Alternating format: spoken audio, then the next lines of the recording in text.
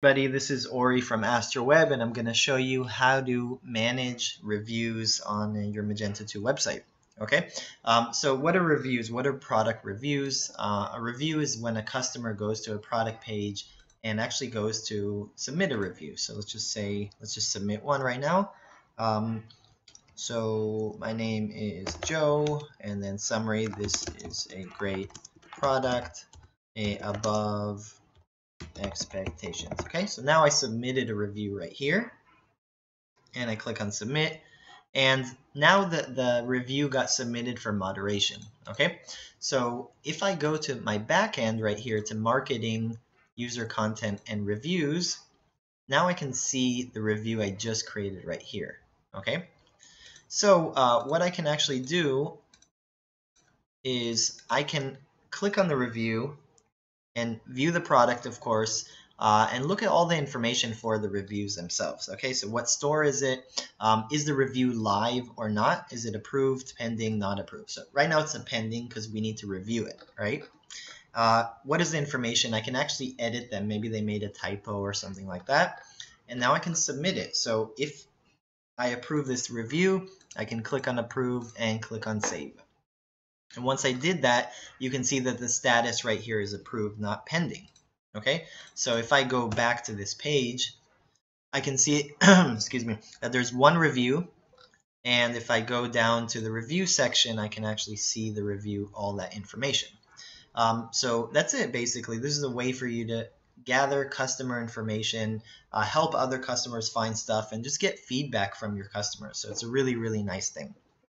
Okay, um, so one more thing, which is very important. Okay, so uh, what you can also do here is you can actually manage what types of uh, information do you want to gather for your review. So this is the default Magento that someone would enter nickname, summary, and review.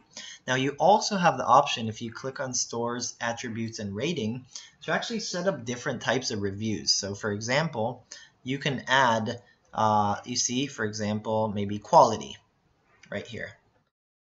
Okay, and you can specify which, uh, let's actually add a new one so it's easier to understand. So let's add a new rating and let's just call it, um, let's call it a, I don't know, feeling. Okay, so how, or let's call it excitement.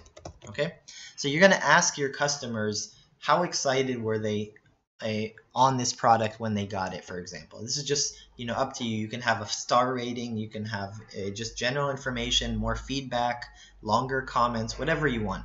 Okay, and I'm gonna select, excuse me, I'm gonna select all stores. I'm gonna make it active, and I'm gonna select which position, which sort order. Is it the first one on the list? Uh, is it before summary? Is it after review? Wh where is that? So let's just say it'll be the last one. So I'm going to select a very high number. The lower the number, for example, 1 or 0, um, the higher it is, and the bigger the number, the lower it is. Okay, So I'm going to click on that, and I'm going to click on Save.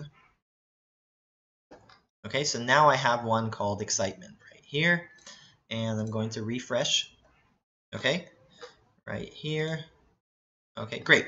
So now if you notice, I created a new one called excitement, and now it actually came into the review. So now when a user reviews something, now I have another field I can play with. So um, you basically have different ways to kind of add more features, um, and uh, it's a really nice way to, to kind of play around.